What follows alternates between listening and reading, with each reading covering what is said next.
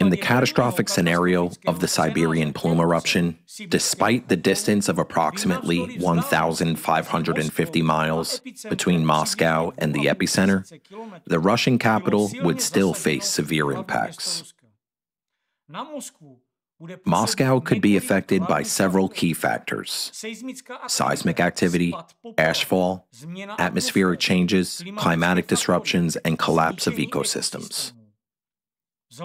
Since the eruption is to cause an ultra powerful earthquake of magnitude 13.2, the shockwave at supersonic speed would reach Moscow within minutes. Although the epicenter is far away, Moscow can still experience moderate tremors up to magnitude 7 due to energy transfer through the lithosphere. Those tremors would cause widespread destruction to buildings, infrastructure, and utilities, as well as incite mass panic among the population.